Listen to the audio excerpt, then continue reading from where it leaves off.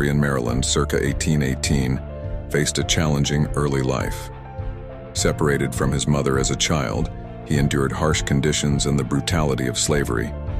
Despite these hardships, he developed a thirst for knowledge